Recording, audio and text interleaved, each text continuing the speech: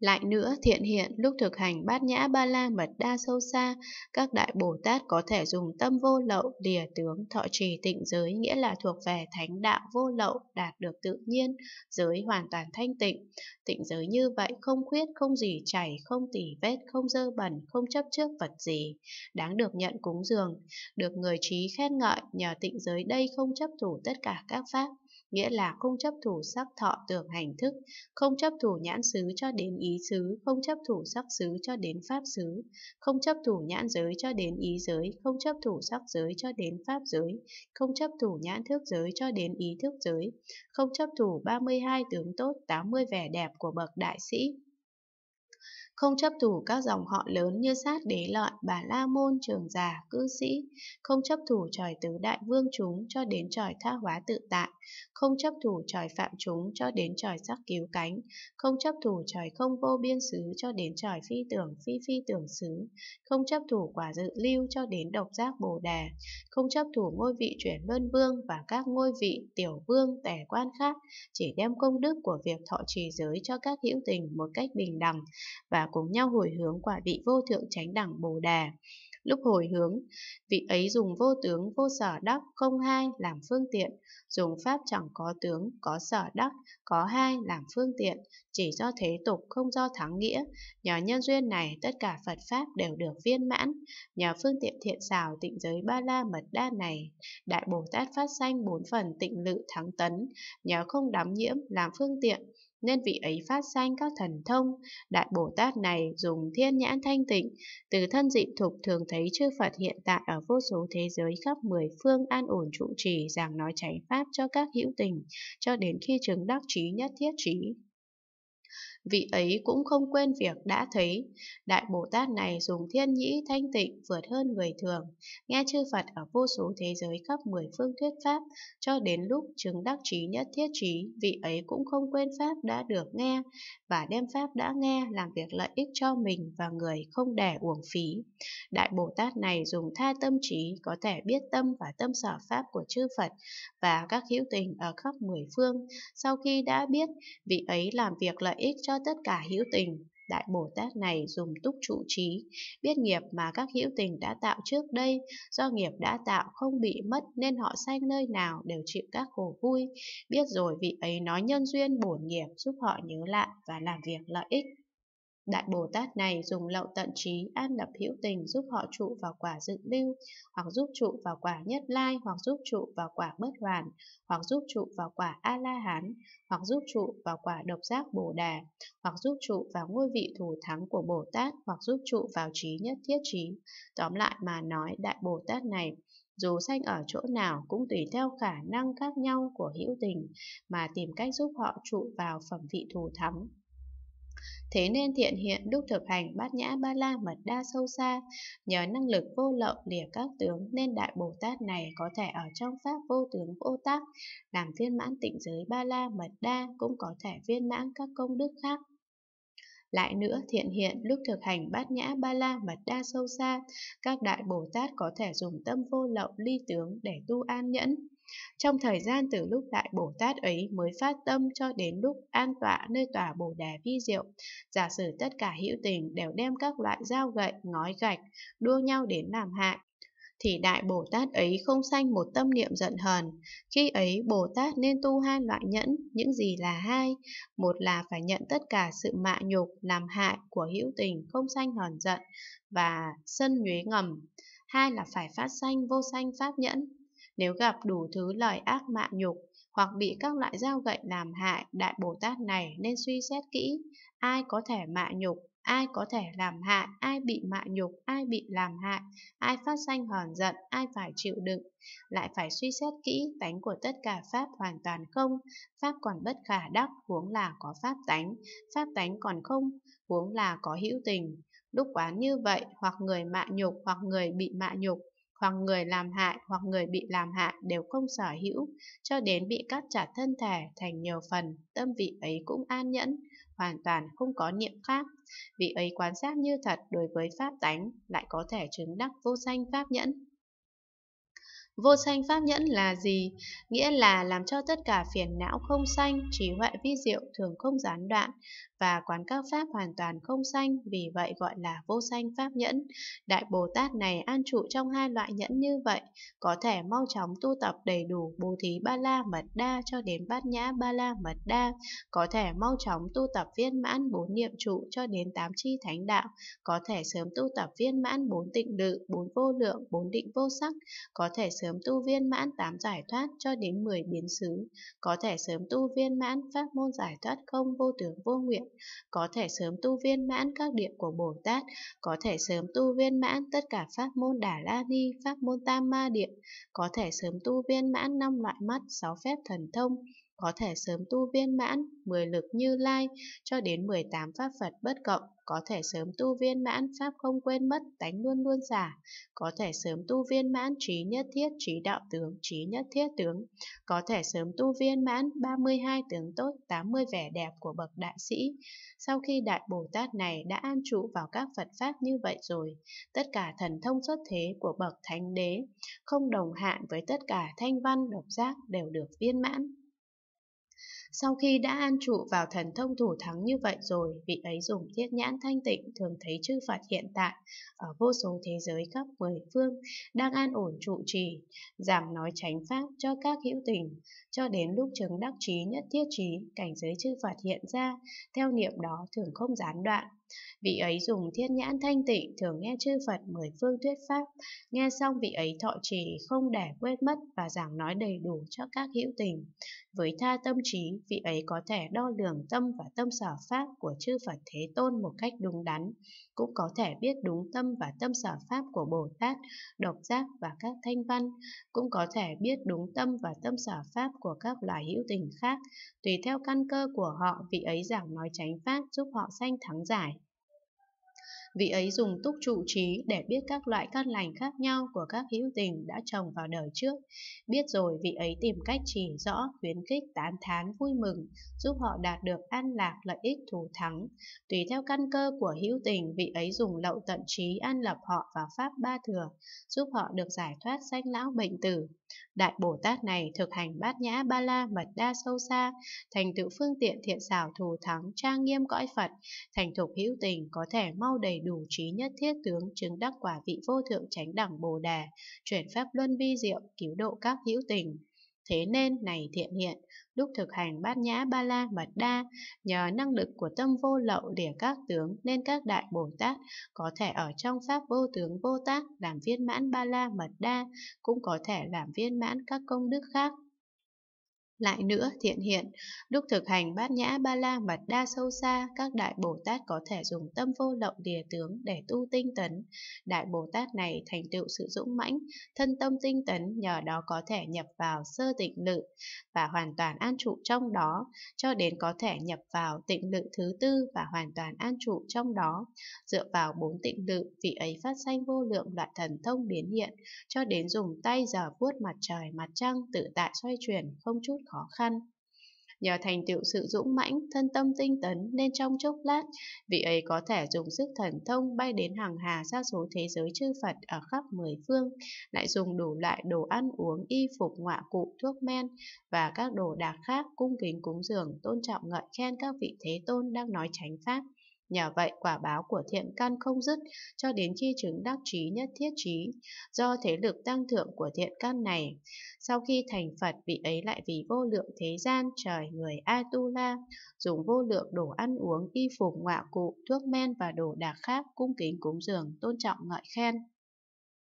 Do thế lực tăng thượng của thiện căn này, sau khi nhập niết bàn xá lợi của Phật và các đệ tử vẫn còn được vô lượng trời người A-tu-la ở thế gian cung kính cúng dường, tôn trọng ngợi khen, Đại Bồ Tát này lại dùng thần lực để đến hàng hà xa số thế giới của chư Phật khắp mười phương, lắng nghe chánh pháp ở các đức Phật, nghe xong vị ấy thọ trì cho đến khi đạt được quả vị vô thượng chánh đẳng Bồ Đề không quên mất. Đại Bồ Tát này dùng thần lực để đến hàng hà xa số thế giới chư Phật ở mười phương, thành thục hữu tình trang nghiêm cõi Phật siêng năng tu học trí nhất thiết trí, được viết mãn rồi vị ấy chứng đắc quả vị vô thượng chánh đẳng Bồ Đề chuyển pháp luân vi diệu độ các hữu tình. Thế nên thiện hiện, do thực hành bát nhã ba la mật đa sâu xa, thành tựu thân tinh tấn mạnh mẽ nên các đại Bồ Tát ấy có thể làm cho tinh tấn ba la mật đa sớm được viên mãn. Lại nữa thiện hiện, các đại Bồ Tát thực hành bát nhã ba la mật đa sâu xa, thành tựu tâm tinh tấn dõng mãnh nên sớm có thể viên mãn các đạo vô lậu của bậc thánh và các chi đạo khác thuộc về tinh tấn ba la mật đa. Nhờ đó vị ấy có thể làm cho các nghiệp bất thiện nơi thân miệng ý không phát sanh được. Đối với các pháp, Đại Bồ Tát này không chấp trước thường hoặc vô thường, hoặc vui hoặc khổ, hoặc ngã hoặc vô ngã, hoặc tịnh hoặc bất tịnh, hoặc vắng lặng hoặc không vắng lặng, hoặc xa lìa hoặc không xa lìa, hoặc cảnh giới hữu vi hoặc cảnh giới vô vi, hoặc dục giới hoặc sắc giới hoặc vô sắc giới, hoặc cảnh giới hữu lậu hoặc cảnh giới vô lậu, hoặc bốn tịnh lự, bốn vô lượng, bốn định vô sắc, hoặc bốn niệm trụ, bốn chánh đoạn, bốn thần túc, năm căn năm lực, bảy chi đẳng giác, tám chi thánh đạo, hoặc pháp môn giải thoát không vô tướng vô nguyện, hoặc bố thí ba la mật đa cho đến bát nhã ba la mật đa, hoặc nội không cho đến vô tính tự tính không, hoặc chân như cho đến cảnh giới bất tư nghì, hoặc thánh đế khổ tập diệt đạo, hoặc tám giải thoát, tám thắng xứ, chín định thứ đệ, mười biến xứ, hoặc tịnh quán địa cho đến như lai địa, hoặc cực hỷ địa cho đến pháp vân địa, hoặc tất cả pháp môn Đà La Ni, pháp môn Tam Ma Địa, hoặc năm loại mắt, sáu phép thần thông, hoặc mười lực Như Lai cho đến 18 pháp Phật bất cộng, hoặc 32 tướng tốt và 80 vẻ đẹp của bậc đại sĩ hoặc pháp không quên mất tánh luôn luôn giả, hoặc trí nhất thiết, trí đạo tướng, trí nhất thiết tướng. Hoặc vô thường, khổ, không, vô ngã. Hoặc quả dự lưu, quả nhất lai, quả bất hoàn, quả a la hán, độc giác, bồ đề. Hoặc tất cả các hạnh của đại bồ tát và quả vị vô thượng chánh đẳng bồ đề của chư phật. Đại bồ tát này cũng không chấp trước. Đây là dự lưu, đây là nhất lai, đây là bất hoàn, đây là a la hán, đây là độc giác bồ đề, đây là như lai. Cũng không chấp trước các hữu tình tình này do hạ pháp hiển hiện ra, hữu tình này do trung pháp hiển hiện ra, hữu tình này do thượng pháp hiển hiện ra, hữu tình này do phần trên hiển hiện ra, hữu tình này do phần dưới hiển hiện ra, hữu tình này do thanh văn thừa hiển hiện ra, hữu tình này do độc giác thừa hiển hiện ra, hữu tình này do vô thượng thừa hiển hiện ra. Đối với những pháp và các hữu tình như vậy, Đại Bồ Tát này đều không chấp trước. Vì sao? Vì pháp được chấp trước và các hữu tình đều không tự tánh và không thể nắm giữ. Nhờ Đại Bồ Tát ấy, thành tựu tâm tinh tấn rõng mãnh, nên tuy thường tạo tác các việc lợi ích cho tất cả hữu tình, nhưng đối với hữu tình hoàn toàn vô sở đắc, tuy thường viên mãn pháp tu tinh tấn ba la mật đa, nhưng đối với tinh tấn ba la mật đa hoàn toàn vô sở đắc, tuy thường viên mãn tất cả Phật pháp, nhưng đối với Phật pháp hoàn toàn vô sở đắc, tuy thường trang nghiêm tất cả cõi Phật, nhưng đối với cõi Phật hoàn toàn vô sở đắc. Đại Bồ Tát này thành tựu thân tâm tinh tấn như vậy, tuy có thể xa lìa tất cả ác pháp, lại có thể hộ trì tất cả thiện pháp,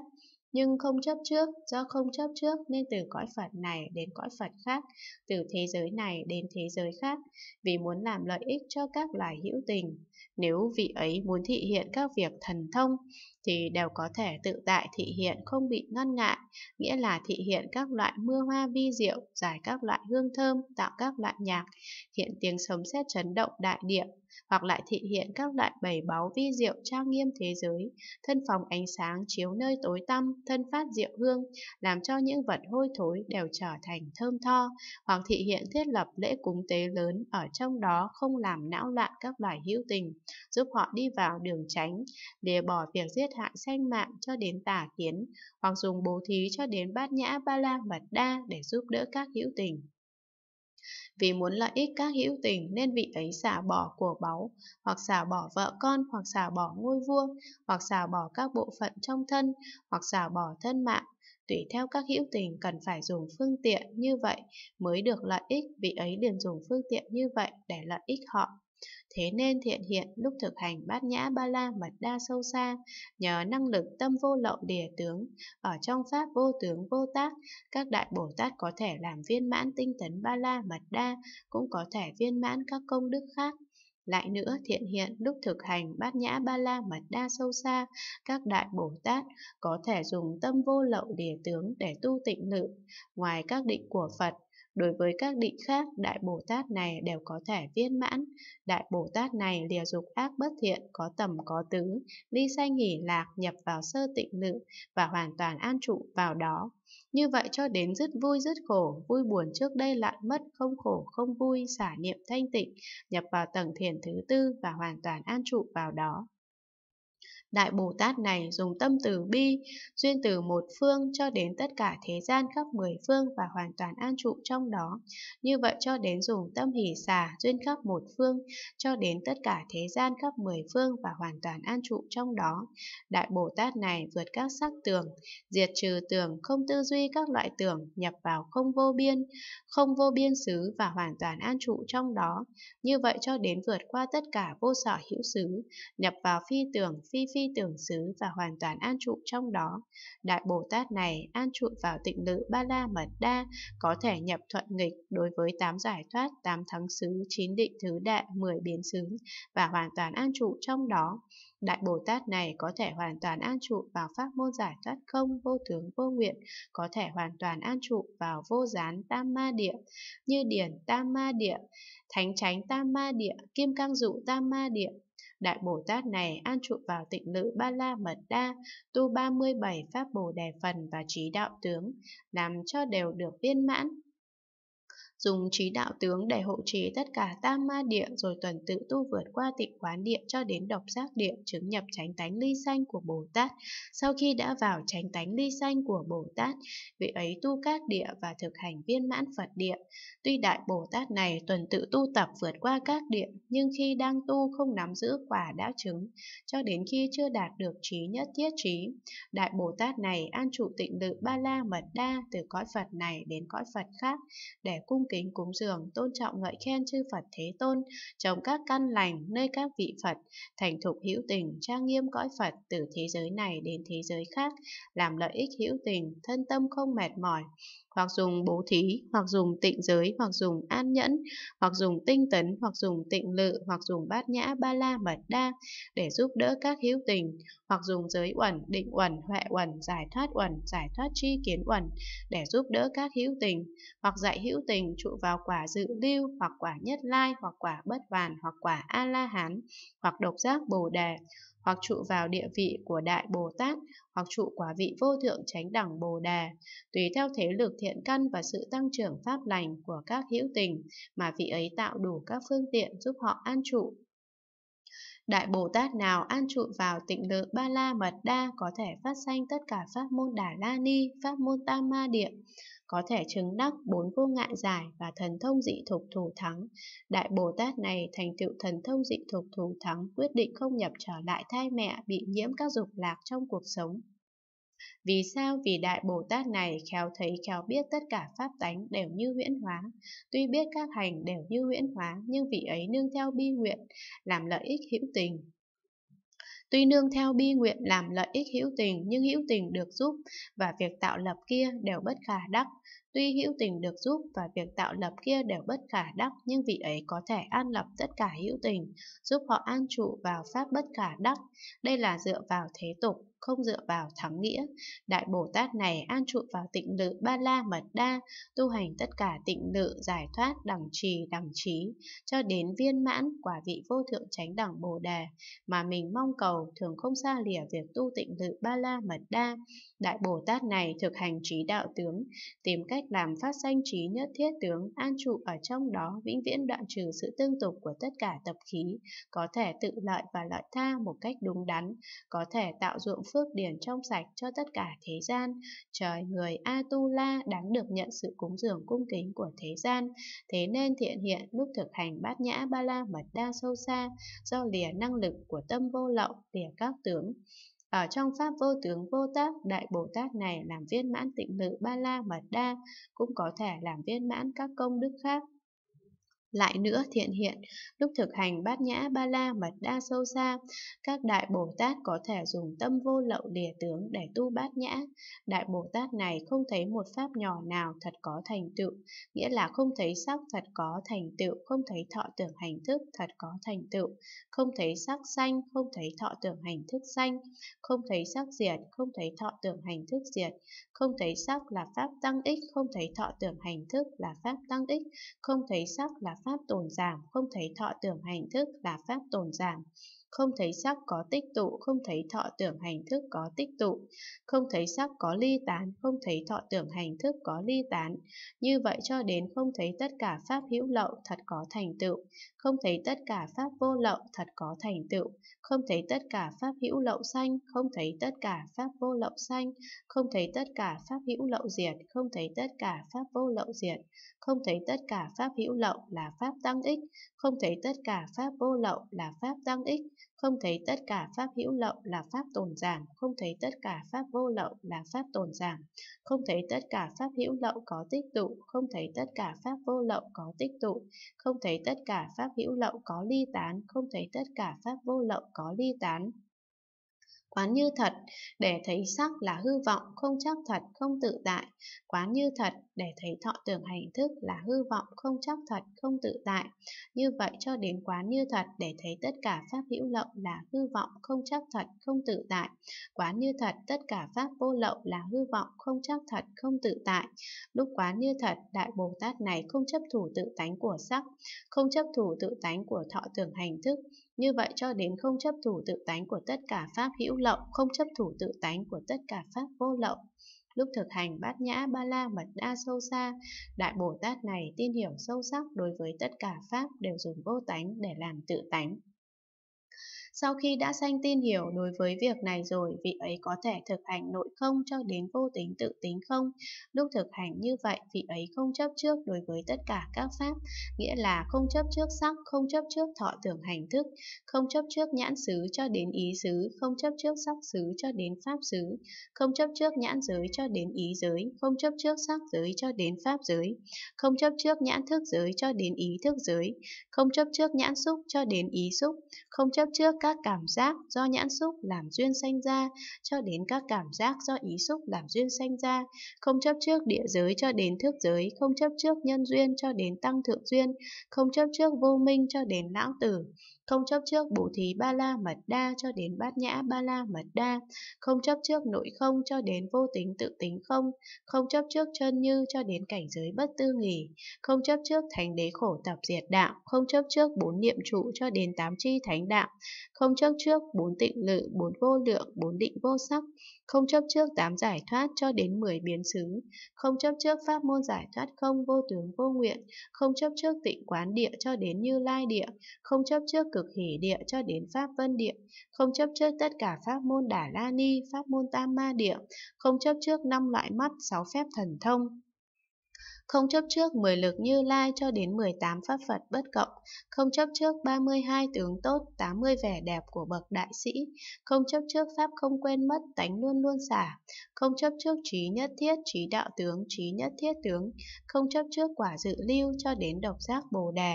không chấp trước tất cả các hạnh của Đại Bồ Tát, không chấp trước quả vị vô thượng chánh đẳng bồ đề của chư Phật, lúc thực hành bát nhã ba la mật đa sâu xa vô sở hữu, Đại Bồ Tát này có thể viên mãn Bồ Tát đạo, nghĩa là có thể viên mãn sáu ba la mật đa, cũng có thể viên mãn nội không cho đến vô tính tự tính không, cũng có thể viên mãn chân như cho đến cảnh giới bất tư nghỉ, cũng có thể viên mãn thánh đế khổ tập diệt đạo, cũng có thể viên mãn bốn niệm trụ cho đến tám chi thánh đạo, cũng có thể viên mãn bốn tịnh lự, bốn vô lượng, bốn định vô sắc, cũng có thể viên mãn tám giải thoát cho đến 10 biến xứ, cũng có thể viên mãn pháp môn giải thoát không vô tướng vô nguyện, cũng có thể viên mãn các địa của Bồ Tát, cũng có thể viên mãn tất cả pháp môn Đà La Ni, pháp môn Tam Ma Địa,